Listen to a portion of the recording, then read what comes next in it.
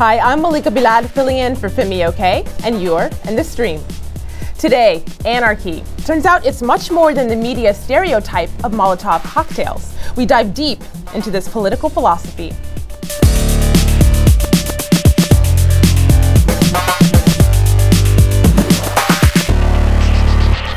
digital producer Dan Ming is joining us on set. He's already looking out for your questions, your comments. Now, I know, Dan, both of us noticed over the weekend there's a divide between Twitter and Facebook. Yeah, I saw a little war going on. On Twitter, a lot of people were optimistic about anarchism in general, and on Facebook, we had a lot of naysayers. So let me just give you a little taste here.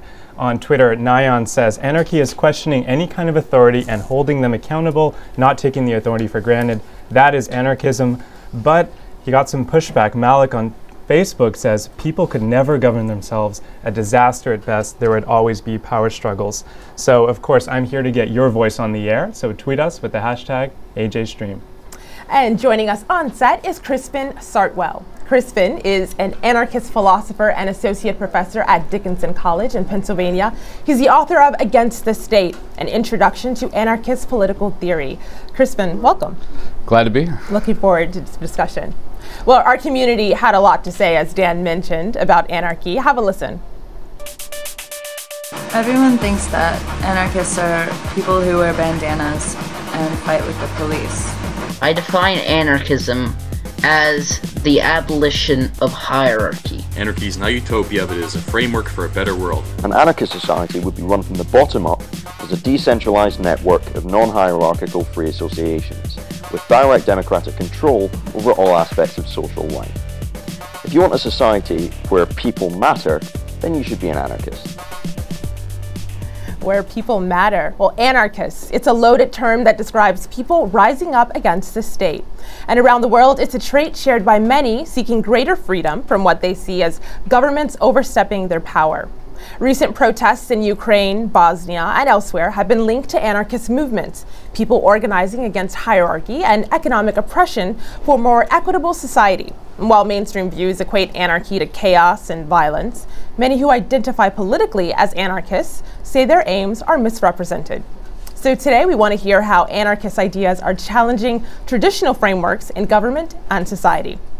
With us to talk about this is Cindy Milstein, a writer and anarchist organizer. She's joining us via Skype in San Francisco.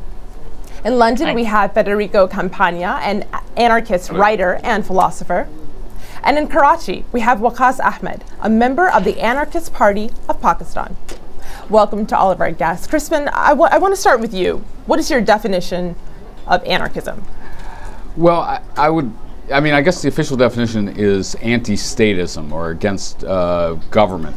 Uh, but I think of it as more uh, an anti-hierarchical uh, political and economic orientation uh, that thinks about the structures of power that we live under and wants to explore ways of releasing us from them uh, and getting more involved in like organic self-organization and self-defense uh, in a way that would make a, a, more equal world and make it more possible for uh, more people to realize their vision of themselves or their vision of, for their community. Mm-hmm. Federico, does that definition vibe with, with your thoughts on what anarchism is? Yeah, in part. I mean, anarchism is a very long tradition, and it's a very wide topic, so it's very difficult also to describe it in a few words. I would add also another thing that anarchism is, um, is, a, is a philosophy and a way of living which emphasizes the fact that the, the possibility of achieving happiness or try to work towards happiness within your short mortal life. And the idea that autonomy is important is indispensable in order to achieve happiness. So the, the, attempt of anarchism is to try and create the conditions for autonomy that is the conditions for happiness all right, so I actually have a question here from our community, and I want to pose it to you, Cindy. Adrian on Facebook says, To me, anarchy is simply the opposite of hierarchy, a horizontal social structure, decentralized, self organized, and inherently egalitarian. But um, Cindy, when I mentioned to my friends that we're doing this show, I said we're talking about anarchist organizing. They thought that was a contradiction in terms. Why do you think that people think that the idea of anarchism and organization are mutually exclusive? Why is that a popular idea? Um, I think it's a popular misconception, but uh, in general, I think more and more people, in terms of all the global uprisings that have been happening, are really coming to understand whether um, an anarchistic sensibility of people being able to come up with different forms of social organization, which is really always what anarchism has been asking, is if we want to see the absence of hierarchy and domination as the forms of social organization that currently exist, what would replace them? So, what types of social organization and social relationships can we engage in now that strive towards social goodness and a deep sense of direct democracy and participation, um, self governance? And um, yeah, so I think actually anarchism is precisely organ- organization, but a different type of social organization. Well, you, you also mentioned misconceptions, and that, that takes us to Pakistan. Waqas, is anarchism, is that accepted and understood in Pakistan? What are the misconceptions there uh, about this philosophy? Well, it is uh, not at all understood. It is uh, very much uh, misrepresented by the media, and mostly people are scared of this whole idea. Uh, anarchy to people means chaos. It means uh, no religion. It means uh, there is no order in society. So everyone is burning buildings and stealing stuff. So that's basically what people think, and especially for Pakistan, there is a long way to go creating better understanding of anarchy first of all and then uh, we think about how we create a social structure that uh, is more closer to anarchy. So first of all we need uh, people to understand what it is. So if, it, if it's seen in that view do you call yourself an anarchist yeah, of course, I do call myself an anarchist. But right now, uh, uh, if you identify as an anarchist in Pakistan, you uh, don't have any immediate threat to you to yourself. So right now, it's safe to call yourself that, because uh, we are considered not very serious uh, in terms of political ideology. We are not uh, considered very numerous, so not a very large threat to the existing system. Is would you say that that's true for here in the in the U.S., Crispin, or uh, is it seen as more of a threat? I don't know that people are really worried about the anarchist threat. Um, I don't know if, how focused the NSA is on surveilling the anarchist movement or something, but there certainly are anarchists, and there's serious anarchists, and there's anarchist elements in uh, contemporary protest movements that I think are quite significant uh, the Occupy movement and you know various anti-globalization. What are some activities. of those elements? What, what does that mean? Anarchist elements. What, what does that look like? Well, I, am not. I don't want to like speak for any like Occupy as a whole. I'm sure there are very many different like positions and ideas within a, a movement like that. Uh, maybe Cindy can speak to that a little better than I can, but. Um, but I think that you know there's an anarchist basic spirit to that movement uh, as, as she said, direct democracy and some of the practices of decision making that emerged in that movement, kind of bottom up decision making. Um, and then also a you know, a basic hostility toward inequality that was expressed in that movement, economic inequality, uh, which I think, you know, is really compatible with a basic anarchist vision. Yeah. Cindy, you're nodding your head. Yeah, Oh yeah. well, I would also add. I mean, there have always been people who have understood themselves um, since the time period when socialism and communism and Marxism emerged as forms of political philosophy. There have always been people that have understood themselves as anti-authoritarian or, you know, looking for a deeply egalitarian society. So this isn't anarchism isn't something new. And in fact, many people would say the practices go back as far as human history because people have been able to figure out ways to self-organize in very um, decentralized, grassroots, face to face ways. Um, but what's been really unique, I think, about anarchism um, is not only that it brings that very egalitarian sensibility, but it isn't just about a, a, a, con, a, a form. Um, so it also brings, I really want to emphasize that it brings an ethical content to that form um, in terms of, of things like cooperation or dignity or love, um, mutual aid and a deep, deep commitment to allowing everybody to become who they want to be. So, um, in terms of what it brought to Occupy or what it's bringing to um, some of the global uprisings, it isn't simply that it's about direct, just simply direct democracy, because you can have fascists organizing face to face. What it's about is a deep sense of whether you're, you know, queer or a person of color or um, a female or whatever brings you to these things in different ways or, or are concerned about the natural world, um, that we have a, a compassion and empathy and a tolerance for each other and try to figure out how we can coexist together in ways that allow for that. Um, everybody to express who they want to be. So, Right, so I think what anarchists Yeah. did in the Occupy movement was bring that not only the forms of organization, but also bring kind of an ethical sensibility to it too, a compass. All right, Cindy. Actually, I have a follow-up Yeah. question for that. Sorry, just one second. Federico will get right back to you. Yeah. So Wojtek Yeah. on Twitter tweets in. Here's a question. He's asking about scale. He asks, when does an anarchist community become too large for direct representation to work? So we saw this kind of movement and organizing with the Occupy camps, but was that the scale that works for this kind of direct representation? What do you think? Can it be implemented on a large scale?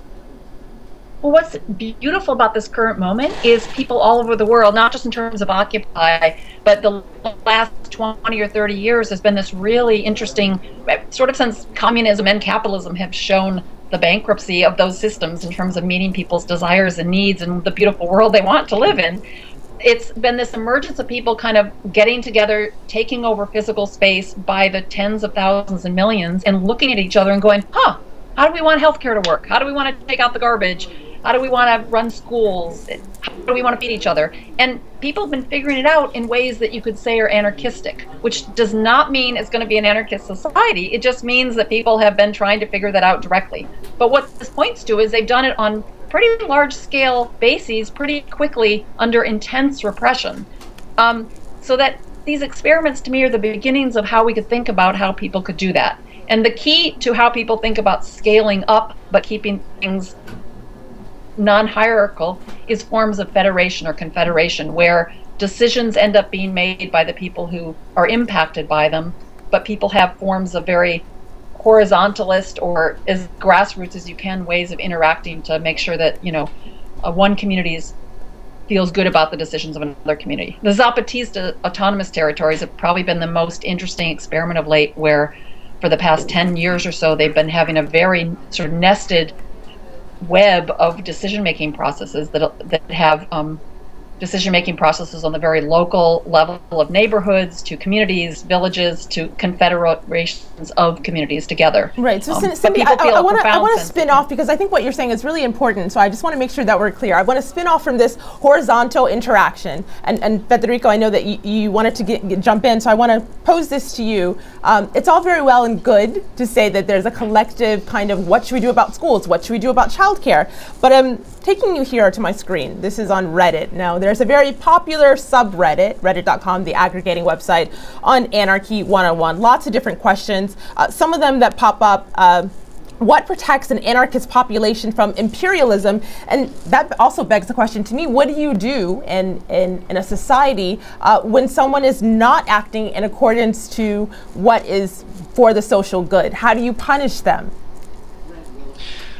Um, before, if, if I may, before answering that, I would like just to add one thing to um, what was said before by Cindy, which was very much to the point. And I think I would like to add just one uh, one element to that, which is the anarchism. In fact, is what currently also keeps um, keeps the world spinning. In a sense, you can find anarchism in the organizations of Occupy or in the more uh, spectacular forms, but you also find anarchism every day in your in most of your relationships or friendships and loving relationships with, uh, which are not abusive. Um, for example, what uh, what we achieved in we are struggling to achieve in a way in terms of reforming um, loving relationship and family relationships uh, has tried to um, make make us understand that it's possible to be together as a as a loving group without necessarily having to um, to subscribe to a, to a higher ideology such as that of the family, but simply out of, uh, of a mutual of a mutual love and mutual interest in a sense. So anarchism is something that you encounter every day, uh, and it's something to do with a, a pure, in a sense, and beneficial form of self-interest and egoism. That is, is possibly the only true form of individualism that is exists at the moment. But going back to the, the question on on, um, on Facebook, how can you how can how can an anarchist community defend themselves? Well, Cindy was mentioning the Zapatistas, um, but there's many other examples in the past. You would have had, for example, Ukraine, um, the, the Republic of Makhno, for example, the, the anarchist experiment in Ukraine in the 20s, or the, the Spanish Republic in the 30s. Anarchists have fought regularly wars unfortunately not very successfully out of um, some sort of technical problems, mostly in that time. Um, the issue of violence should be discussed by anarchists, of course, but unfortunately, most of the time, it's an issue of, an, of how to protect themselves from violence rather than whether to use violence or not. The depiction of the media, which is uh, that of anarchists as innately violent people, is, is totally incorrect. Of course, when you are attacked by a much larger, much larger force, you have two main, two main alternatives. One is to organize and try to fight on the same level, like the, like the Spanish anarchists did in the 30s. And the other, if you're entirely overwhelmed, is to vanish, that is to go to a sub-level. That's something that is described not as anarchy, but as the anarch. Um, and that's a, an entirely different solution, which, um, which very much applies, I think, to contemporary societies the world Federico, I'm going to stop you there because you mentioned several really important things. One of them was you said violence is something that is often, um, uh, from an outside lens, put onto this anarchist movement. Of course, that leads us to this conversation that a lot of people online are having. People are talking about violence. Yes, we have we have some generally curious questions here. We have a video comment from Mikey in California, and I'd like to play it, and then I'll, I'll pose it to Crispin. Here we go. Take a listen. Hi, my name is Mikey from Southgate, California. I grew up in a parochial school environment, so my education was very biased. So my question is, is it true that anarchists are all about the violent takeover and overthrow of government? So Crispin, what do you think about that question? He, this is what Mikey's presentation of anarchy was, violent right. overthrow of government. Where does that come from and how do anarchists, how do anarchists respond to this? Well, uh, I mean, it, there, it's not that there's no historical sources for this, okay? Uh, and uh, the anarchist movement in the late 19th and early 20th centuries, and specifically, some elements of that movement uh, engaged in all sorts of violence. In fact, I think even the term terrorism may have been coined uh, to deal with some anarchist assassins and so on. Uh, an anarchist shot William McKinley, for instance. Um, now, on the other hand, however, uh, there have been many pacifist anarchists of various kinds. Leo Tolstoy is an example. Uh, and I'd say, you know, throughout the history of anarchism, the question of violence has uh, been controversial. And what, are the, what means do we want to try to pursue in order to achieve this vision of a, of a better world? Um, and, I, you know, I, I don't think that most people who identify as anarchists now uh, would regard themselves as like ultra violent revolutionaries. I mean, I don't think in most parts of the world we're in the middle of any kind of violent revolution. Uh, and people are, and, and I'm not sure there'd be a lot of hope for such a procedure. Uh, so people are doing the kind of things that Federico was talking about, which is, you know, resisting to what extent you can in places you must, um, withdrawing into uh, voluntary communities and uh, sustaining communities to whatever extent you can avoid the uh, interf interference of the authorities and so on. So, I, and, you know, I think the association of anarchism with violence partly had to do with anarchist actions of various times, partly had to do with various, you know, state propaganda uh, about anarchism as well. Well, yeah. and, and, delving into that I, association, can I, can I inter- oh, please go ahead. Okay. Um, I think that is such a a stereotype that is mostly been used to discredit um, anarchism versus it being a, a huge part of its history. For most anarchists, for most of anarchist history, anarchists could be seen as some of the most peace-loving people because what they're they really take seriously is the question of how do you deal with conflict and people coexisting without forms of force, whether those force are coercive through words or the pressure of losing your job or your home, or whether the force is wars or militarism or prison. So anarchists are really concerned with the question of violence, but the violence that they're concerned about is the state. I'm, i live in the yeah. United States, which has the largest prison system in the world, and if you don't call that violent, the number of people that that die under that, or militarism, and the U.S. is, you know, we don't need to go into the U.S. in terms of how many millions and millions of people the United States and other nation states have killed. Um, Cindy, and if, so I could, if I could just the question, the question to come down to the everyday level is anarchists spend a lot of time figuring out how do we deal with conflict in ways that are better and more humane.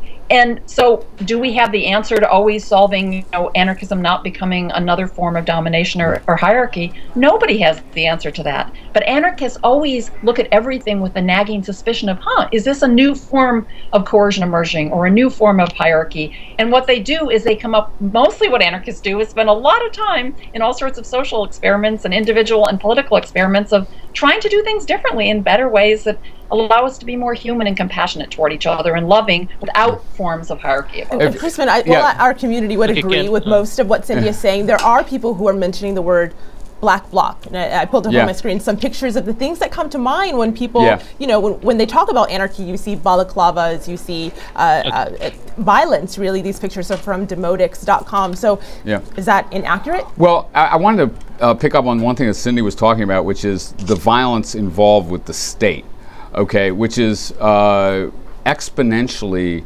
uh, the most violent force in human history, okay? So if you look at the 20th century, the world wars, for instance, all the genocides of the 20th century, the killing fields, the Holocaust, uh, Rwanda, even, these are state actions, okay? Um, and the idea that the political state is there to prevent violence is one of the most absurd assertions. In, in- I mean, it's, it's an insane uh, falsification of the actual essence of the state in violence, which is expressed devastatingly in history, the tunes of tens of millions of dead people. Uh, now, I don't know that much about the Black Bloc. Uh, I don't think it's probably any kind of real organized movement or something. Um, and I don't know how much violence they've really perpetrated. Uh, people are throwing stones, maybe, or Molotov cocktails. I think uh, often uh, in very difficult situations, say in Greece, for instance, uh, as the economy broke down. Um, you know, so I, but I don't think there's any organized violent anarchist faction in the world. Really, Well, I will anything like say, people online were tweeting us that Black Uh. Bloc is is not. Uh, it's an action. It is not a group. It is not a movement. Waqas, I know I want, you wanted to get in. Go ahead. Yeah. Yeah, uh, because when we talk about violence, I think we are getting ahead of ourselves because uh, I don't remember any uh, violent attempt uh, on part of anarchists to take over the state or take over the government or any organized violence uh, perpetrated by anarchists any time in the history specifically to take over the state. So uh, right now we talk about uh, violence the government uh, all governments they basically have monopoly over violence they have this huge machinery dedicated to violence. They have police, they have mil- huge militaries, huge expenditures. All states have that. So I don't think even if anarchists want to violently take over uh, a state, they are in any position to even try to attempt that because that will be crushed immediately by any state. So it's not realistic on part of anarchists even consider that. And for people to say that anarchists might attempt that, it's it sounds kind of silly. Yeah.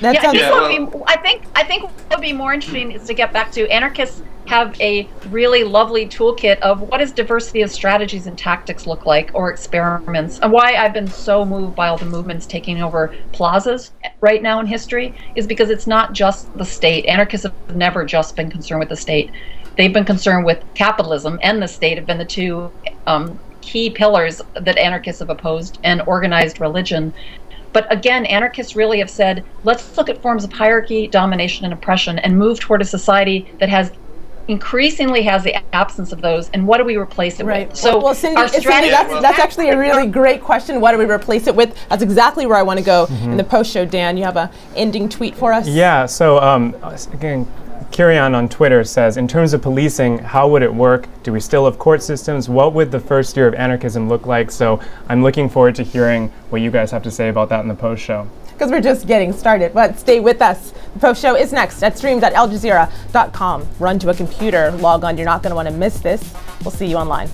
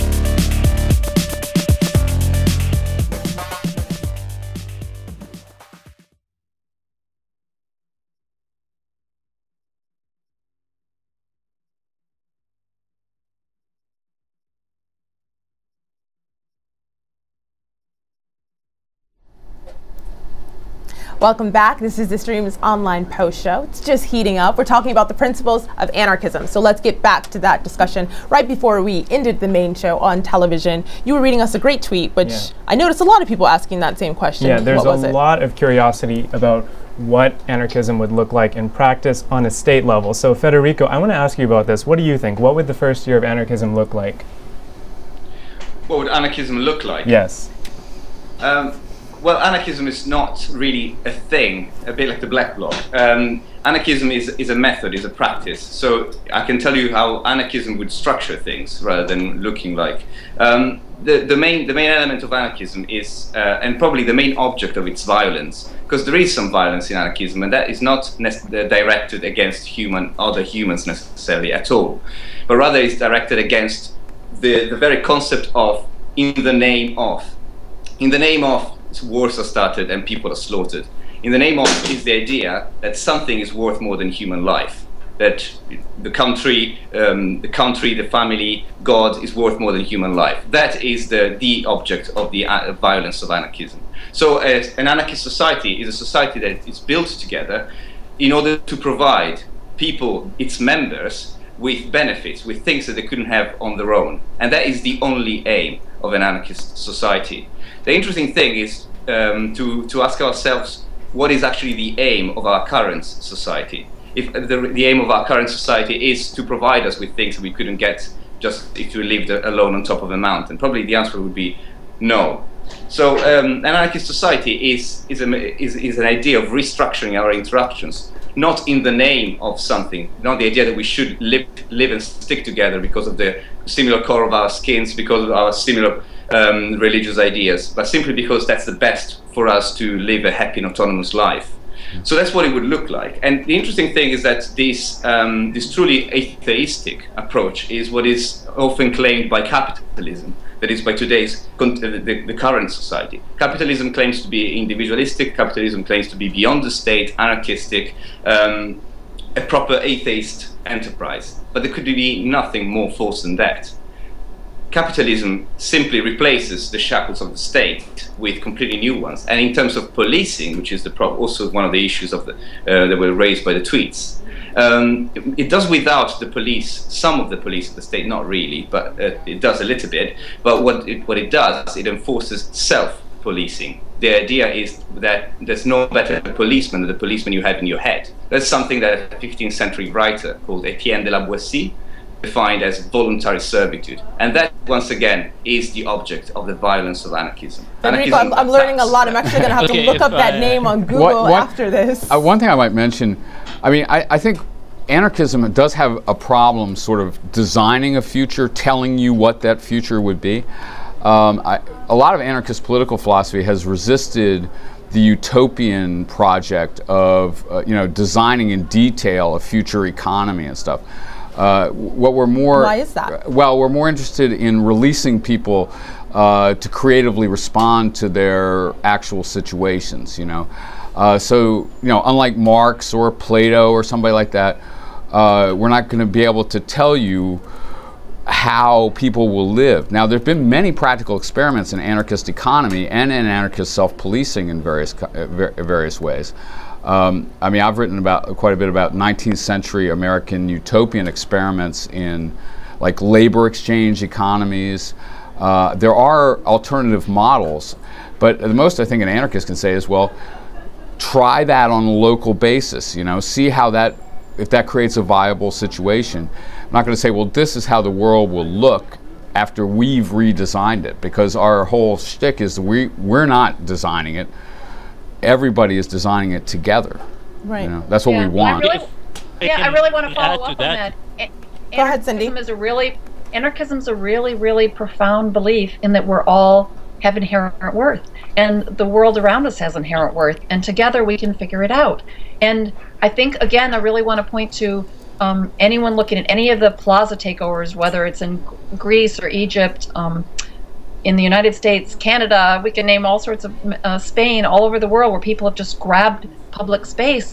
They've instantly started looking at each other and trying to figure out ways to provide the things they need and desire in ways where they're doing it. And part of the reason those moments feel so, if you've been part of any of them, they feel as if you're alive in a way you aren't in any other moment is because we really realize that when we turn toward each other, we can there's someone who's excited about doing most everything and the things we're not excited about, we can kind of figure out together how we're going to do them. So, Cindy, so there's a, again a profound belief in self-determination, self-governance, self-organization, and I, I don't think any anarchist would say, "Oh yeah, we're going to have a new society in one year, and this is what it will look like." But we're saying let's move toward a world where it isn't defined by things that are power over us, but power together. Great. And So- what would that look like? So, Cindy, I have a follow up question here from Facebook. David writes Anarchy is unsustainable simply because it assumes that no leadership will arise from it. Once leadership arises, a government of some kind forms. Even tribes on isolated art islands aren't anarchists because they have a hierarchy. So, I wanted to ask about your experience in these Occupy camps. Does a leadership arise? Is it is it inevitable, or how is it avoided in this kind of organizing? I mean, people taking leadership over things they're really excited about or good at isn't, if they don't have power, isn't the problem. What's the problem is when leadership implies the ability to coerce or force others to do what you want them to do. So I really want to point to that. So sure, some people took leadership and they were really excited about what would it look like to cook meals for everybody on a daily basis, and they were excited about that, and that was cool. And other people took leadership in a process that would allow everyone to try to speak together, and then we'd constantly revisit why it wasn't working. So I was part of Occupy Philly, and one of the most lovely, we had general assemblies all the time. We're together every day. We would twice or once a day we would come together to decide crucial issues. And one time that was the most poignant was there was a group who had decided to set up outdoor, you know, portalet toilets, um, so we could have a place in a, a public plaza to go to the bathroom. And they came to us and they said, "Oh, we're having trouble figuring out how to keep them clean." And we spent like two hours really seriously grappling with the question of how do we want our, our society to look where everyone can feel good about it and clean and safe and our needs are met. And while it seems like a simple, ridiculous example, it actually was one of the most beautiful moments where people really took seriously everything that includes the whole of life and not think that it's someone else's job or a demeaning job or something someone's forced to do for money. So I think the ways we can really understand anarchism is, again, in the everyday practices, as was pointed to earlier. And one of my favorite examples is libraries. Like we walk into libraries and we can suddenly have a different relationship with the world where out of pure curiosity, we can borrow things and use them and get value out of them and give them back and we're glad to and share Cindy, them of course, others. that's not just Yeah. happening Okay. in, in, in the real Yeah, world, it's well- happening in the virtual world as well. Waqas, Yeah. talk to us about technology and, Yeah. and the role of that. So we, uh, when we talk about anarchism, we are assuming that there's going to be a year zero of anarchism. That there's going to be some point in time when some someone declares an anarchist society is about to start. That's not going to happen, and I don't think that it's realistic to think that way. So when we think about the anarchy, year one is now. You can start right now, and you can bring about an anarchist system in your own life. For example, we take the example of open source movement. It has been going on for a long time, and what it means is basically developers, programmers come together and create something new. Uh, great software is being created by communities of programmers and uh, not by central corporations. For example, competitor to Microsoft, there's uh, Linux. And uh, it competes very well against uh, Microsoft and uh, Apple. So how is that happening? Because uh, a huge community, worldwide community of developers has come together to create something new for the community. That's amazing. How uh, I might, uh, we, we, uh, we might mention Wikipedia too is another example. Probably, Yeah, the, exactly. probably the greatest reference work ever created by human beings. And the community Uh, self-corrects yeah, yes, exactly. exactly. I was about to mention that. Yeah. So, so Um, people are coming yeah. together to create new, new things. And it's, uh, it, these systems are basically anarchist systems. We are not uh, thinking of them that way. So we see order emerge out of Wikipedia. We see order emerge out of uh, Linux and other open source uh, projects. We see someone uh, centrally take responsibility of the pro- project, and everyone gathers around person or that Yeah. small organization, that collective group of people. So we see order em- emerge everywhere. So if you want to start something, you can start something right now, and there is going to be a community that you just have to foster, and it's Yeah. going to be an anarchist system. Well, Cos, I, I love that you ended that by saying that if you want to start something, you can start something right now. And unfortunately, Yeah. we're almost out of time, but I want to give all of our guests one more line because this question comes to mind. Is there a way, as Waqas was just saying, um, to integrate anarchist ideals with our current state institutions? And I'll start here with Crispin. Is there a way to merge those two things? Well, I think, uh, as several people have said, like any area of our lives that is not filled with pervasive coercion. Uh, any place where we're voluntarily associating on the web or at the library. Um, that's an anarchist site potentially. And so, w- what we need to do is think about those when they're successful and grow them if we can. Cindy. Yeah, I was going to say growing is really beautiful. It's what is a dynamic look at that where we are moving ever more outward from those forms of self-organization to contest the places where we can't do that. I always say in a nutshell to me, anarchism is what does it look like to increasingly move towards social goodness or a society where free individuals and freedom can coexist and increasingly moving toward that. So anarchism is antagonistic to forms that aren't like that. It can't, it can't just kind of cozy up to the state or capitalism, which takes those beautiful forms of free software sharing and tries to privatize them and commodify them and hold them for power. Anarchism wants to push out that and say, no, it's all for sharing and caring and up together doing it, and increasingly figuring out ways to do that together. And Federico. Yeah, well, I just want to add a comment about the discussion on leadership before as well. Um, just, just a disclaimer. We only have 30 seconds left, so it's whatever you say will be your last word. Go ahead. okay, well, the anarchism is not a, a, a, fanatical cult against leadership. They just try to um, create an efficiency of leadership, minimize it to what is necessary. And in the same way towards the state, uh, it's not necessarily a, a, fanatical cult against the state, but tries to understand what is useful in social organization. That is, anarchism, you can say, is welfare without the state. And uh, Wakas, Waqas, your last word?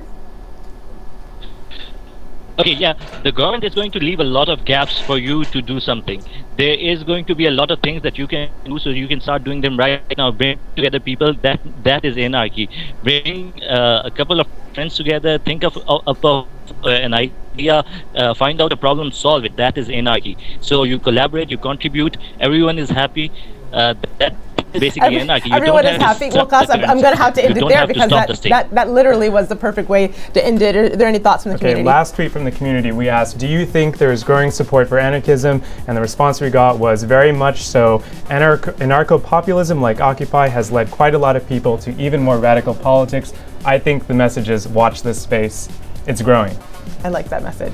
well, thanks to our guests, Chris Crispin Sartwell, Cindy Milstein, Federico Campagna, and Waqas Ahmed. And as always, the conversation continues online at hashtag AJStream. See you next time. Thanks for watching.